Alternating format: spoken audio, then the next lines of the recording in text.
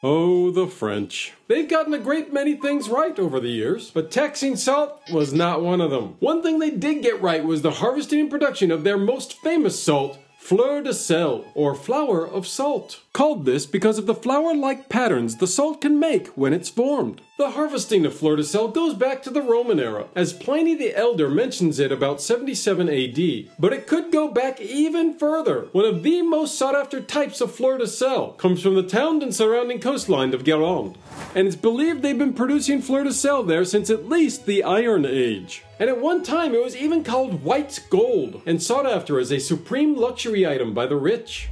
The French also have a number of really fun expressions when it comes to salt. Put a little bit of salt in your life. Add a grain of salt.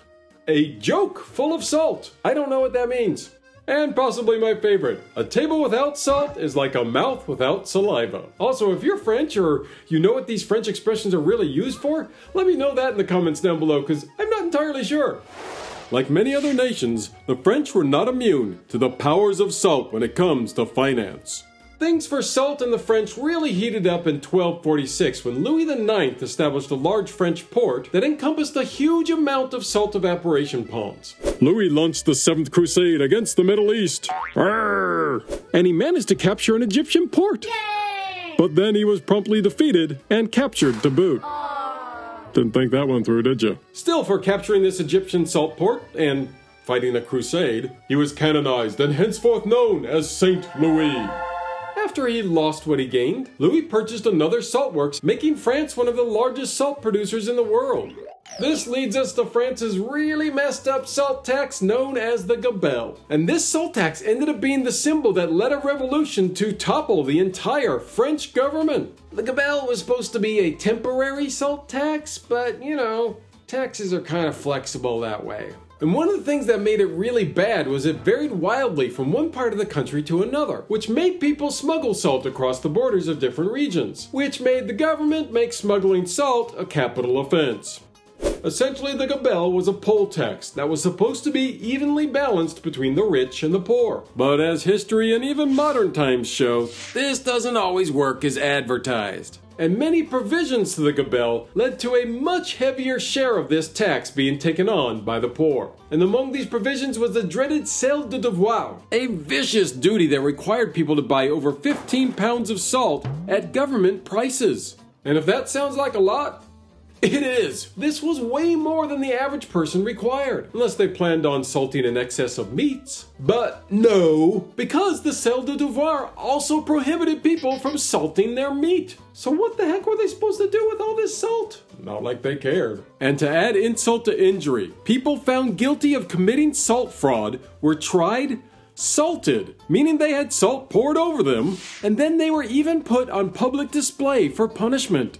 And even weirder, in the 17th century, suicide was illegal. But if you committed suicide, they didn't care. They would still take the body and salt it, not as a way to preserve the body, as a punishment. And then they still put that body on display. Ah, yeah, evolution is pretty slow, isn't it? By the end of the 18th century, a non stop flow of rebellions had risen up against the Gabelle and its enforcers. It even got to the point where 3,000 people were sentenced to prison, and many of those sentenced to death for salt offenses. So it was no wonder that fighting the Gabelle became a big symbol of the French Revolution of 1789. And after the revolution overthrew the king, the Gabelle was finally removed and all charged under it were set free. Liberté! Freedom! Justice! And then Napoleon brought the Gabelle back. Mon Dieu! But luckily, it didn't last. Partly because, ironically, he didn't provide enough salt to his armies and had to retreat from Russia. Still, the Gabelle went on, even though many of its restrictions were lessened. And it wasn't until 1946 that the Gabelle was finally officially abolished.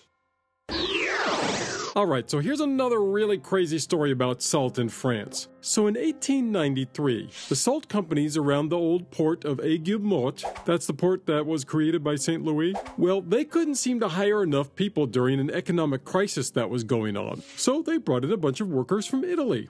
Well, this didn't sit well with the locals at all. And on the morning of August 16th, things escalated quickly after a series of brawls and arguments, eventually leading to the Italians having to hold up in a bakery, while the locals wanted to set it on fire. The French troops were called in to protect the Italians around 4 a.m., but they didn't arrive on time. And in the meantime, the local gendarmes promised to get the Italians out of town. But as they were leading the Italians back to the train station in Aigues Mortes, the crowds overwhelmed the gendarmes and attacked.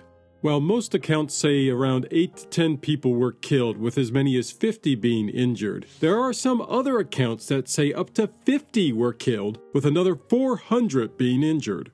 And this incident stood as the biggest slaughter of immigrants in French history until the Paris Massacre of 1961. And it is still one of the biggest scandals in French history, as absolutely no convictions happened after the riots. For more amazing salt history, you need to watch this video right here next. Until next time, be kind, take care of each other, and enjoy your freedom from salt taxation if you're in one of those countries that is free from salt tax, which some still aren't. Oh my gosh, how is this possible?